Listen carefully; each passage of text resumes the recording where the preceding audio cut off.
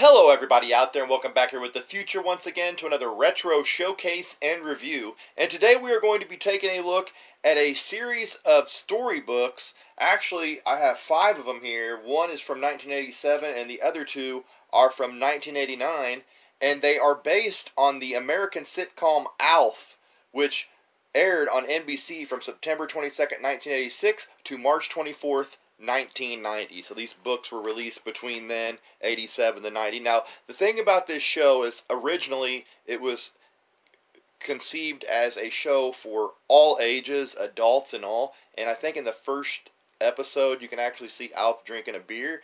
And I think after that they started noticing the reception that kids were having and children had to the Alf character and they decided to tone it down and make it more towards children.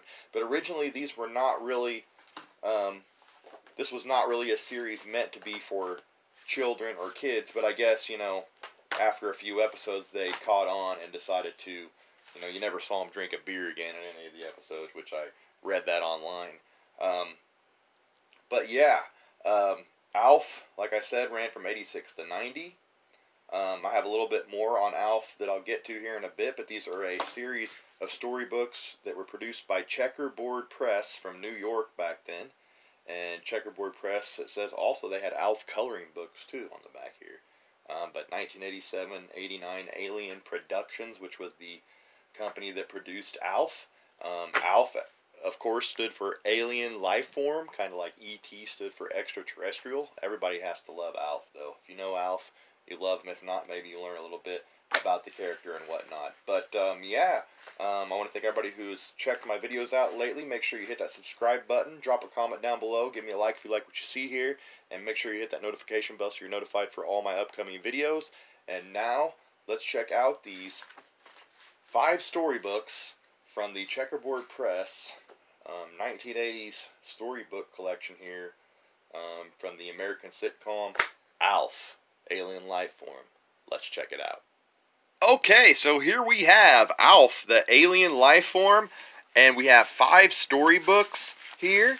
As I said, started off a show that was directed towards adults, all ages, um, but after a few shows, they realized the reception that kids had to the Alf character, which is here, if anybody doesn't know, obviously that's Alf, and they decided to direct the show more towards young adults, and children. Um, so yeah, um, obviously anything that has to do with kids or children back then, you had to have your storybooks, coloring books that were made for them, and these are the Checkerboard Press Alf storybooks. Um, and as you can see here on the back of this first one that we're going to check out, which is Alf, the Great Alfonso. Um, you can see on the back here, it says, Hey kids, you want to have more adventures with your favorite alien? No problem. Join Alf and the Tanner family in all these fun-filled storybooks from Checkerboard Press. A Day at the Fair, Mission to Mars, Summer Camp Adventure, and The Great Alfonso. They had four here in 1987. Not sure if they had any from 86. I couldn't really find too much info on these. If anybody does have any earlier than this, um, when they started the show, um, let me know. But I'm pretty sure that it probably took a year or so before they started really steering the show towards a uh, child audience, um, a kid audience that they uh, started making these children books, coloring books, whatnot. But there's a great picture of Alf up there in illustration. And of course, these are all illustrated. You can see Checkerboard Press, New York, and your barcode and whatnot. But you see there, 1987 Alien Productions, all right, all rights reserved. And you might be thinking, who is the Tanner family that they're calling right there? Well, here's a little on ALF itself if anybody doesn't know. Nicknamed ALF, obviously an acronym for alien life form, he crash lands in the garage of a suburban middle class family called Name the Tanners. The series stars Max Wright as Father William Tanner, or Willie Tanner, I should say, and Schedeen, I don't think I'm getting this, these names right, as the mother Kate Tanner, and then Andrea Elson and Benji Gregory as their children, Lynn and Brian Tanner. So those are all who live in the household which he crash lands. Alf was per performed by puppeteer Paul Fusco, I think I'm getting that right, who co-created the show with Tom Patchett. And as I said, it was produced by Alien Productions. Alf originally ran for four seasons hold on a second. Originally ran for four seasons and produced 100 episodes, including two one hour episodes that were divided into two parts for syndication, totaling 102 episodes. The series proper concluded with an unresolved cliffhanger, but the later TV movie Project Alf provided a series finale for the property, so they ended up coming back and finishing it out um, with the TV finale. And in August 2018, Warner Brothers Television announced the development of an Alf reboot, um, but these plans were canceled in November 2018. So there is a little bit on Alf there. Um, hopefully, everybody understood all that I said. Maybe made some errors on my talking like usual, but um, I think everybody gets the gist of it. So now let's check out these Alf books. Very cool. Like I said, this one from 87. We'll kind of just go through here and check out the illustrations because they're very nice. You can see there. Checkerboard Press, 1987, all your stuff, Alf, uh, copyrights and all that. The Great Alfonso, so obviously it's going to do with some circus stones. I'm not going to read it, but we can go through here and check out the illustrations. Very nice. Very nice childlike um, illustrations here. I kind of like the style that they used for it. Just like you would see in other 80s children's storybooks back then. I'm not going to take a whole lot of time here, kind of just flip through and see what Alf's up to. And then get to the next one, because I know a lot of people have probably never saw um, these books before. I know I never, I don't remember them. Um, if I had them, I do not remember them. Here's Alf with the pizza. Of course, he's always hungry. He has a taste for cats, too, and I think they made him tone down the taste for cats there as well. Um, you'll never know what I went through to get this pizza done in time. So I don't know what the story was all about, but nice illustration. So there's the great Alfonso from 87. Next we have, this is an 89 checkerboard press book, and you can see here it says, Hey kids, you want to have even more action-packed adventures with your favorite furry alien? No problemo. They, they went Spanish on that one. Alf and his friends provide the laughs and all these fun-filled storybooks from Checkerboard. And it says, Alf in the Attic, Winner Take Alf, Alf in Old Predictable, This Place is a Zoo, A Day in the A Day at the Fair, Mission to Mars, Summer Camp Adventure, and The Great Alfonso. So they put the older books on there too, so they're all one collection. And it says, and look for Checkerboard's Alf coloring books too. As I already mentioned in the video, Checkerboard Press, New York. And you see there on this book it doesn't say 89 under there but a different illustration of Alf here for the 89 books um, than on the 87 there's a little comparison between the 87 and 89 backs. You can see they actually put the year um, on this one but they failed to put the year on the 89 but as we go inside here on Alf and Old Predictable I think we got enough on the cover of that one. But Alf and Old Predictable here. And you can see 1989 Alien Productions on the inside. Checkerboard Press.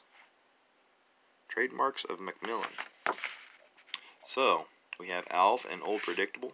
There you see Alf um, and his trademark shirt in this one. And this one, they didn't have him in the trademark shirt anywhere that I remember. Yeah, he's just straight up Alf. I remember they always had him in this shirt a lot of stuff you've seen. Even in the cartoon, they had him in this shirt. They had an animated series for Alf, actually, believe it or not. Something that I kind of forgot about um, mentioning. But they did have an animated series, and that's basically what he was dressed in. So I'm wondering if the animated series came out around this time they used the illustrations more off that. I'm not sure. Um, but that yellow shirt, that's like, you know, classic Alf right there. There he is going to the airport. So different style illustration in this one really than the first book. They don't look like, let's see, illustrated by Eldon Dottie, and this one's illustrated by Emily Kong. So yeah, they use different illustrators. Even the covers, doesn't even say who did the cover on the 89. But you can obviously see different art styles there, which is neat, seeing different kind of art styles for the Alf books. Gotta love these. And I like that he is in his animated series button-up shirt there. Hawaiian style shirt, I guess I would call it or something like that, but kind of looking spooky here in the end. Ooh, fire breathing. like dragon deal. Pretty nice. These are very cool. So yeah, just go through this, show them all off. And then there's the end. Look at that. He's got a whole family of them. The whole Alf family. So next we go to the next one from 1989. And that is in Winner Take Alf. That cover's kind of funny. But yeah, in all these other ones, he does have the shirt. So I don't know if they did the animated series after this 87 one, but I just noticed that. But you can see in this one, he clearly is not depicted with the shirt. He just plain old Alf. But even in the beginning here, I think they show him just chilling without the shirt. But in the ones after, he's got the shirt on, so maybe they like the uh, look with the shirt better. But like I said in the animated series, that's what he looks like too, so maybe this is when the animated series launched. But here's the inside illustrations. Very nice. Don't want to spend forever looking through these, but this is like one of the first times I've actually looked through each of these myself, so kind of interested. What's going on here?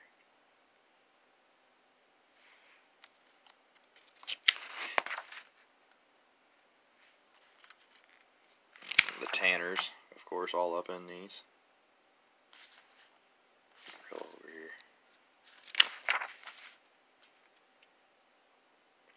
Gotta love Alf.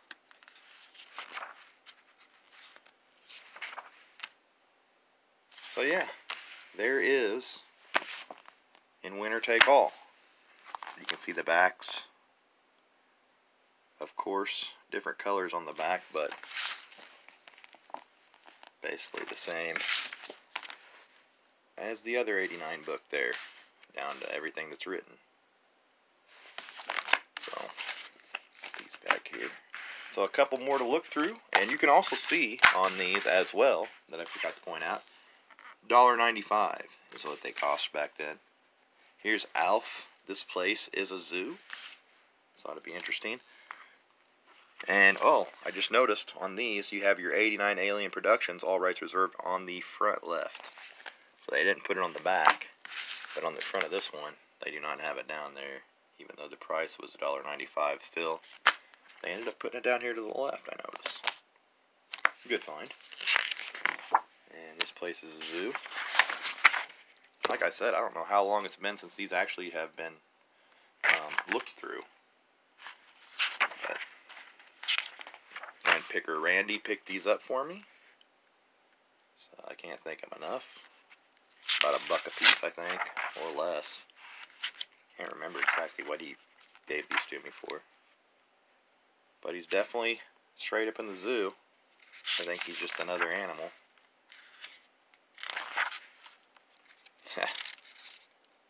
Anteater coming at him.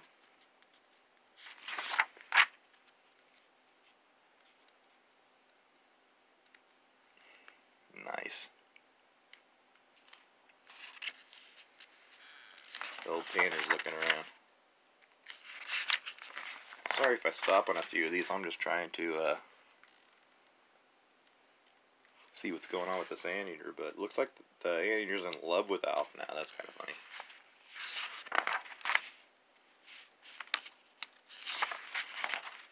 That's kind of sad. The anteater was in love and he just takes off. So good old Alf and the Tanner family heading back home. And then, in the very last, you can see this had the green border on back. But all the same stuff listed as the other 89 book. But last but not least here, we have Alf in the Attic. You can see he's got all kinds of stuff in his chest here. Is that a slice of bacon? Chicken? Piece of meat there? He's got all kinds of stuff here. But of course, in his shirt again. And of course, 1989 Alien Productions once again. There's Alf doing some writing. Looks like Emily Kong did all the illustrations for these 89 books. But once again, Looks just like he's straight out of the um, animated series they did.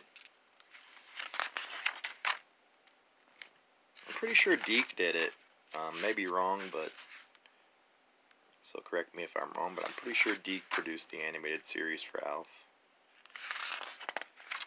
And it looks like, you know, the illustrations just got better and better as they went along on these books. Very nice, kind of like you're just reading straight out the cartoon series. Which I remember, you know, it didn't run a very long time, the animated series, but I do remember catching it on TV. So, yeah. Very cool, though. I want to thank everybody who has stuck with me till the end here and looked through each of these books. Um, it's been a good time checking them out. Um, like I said, I hadn't looked at them really each page since I picked them up.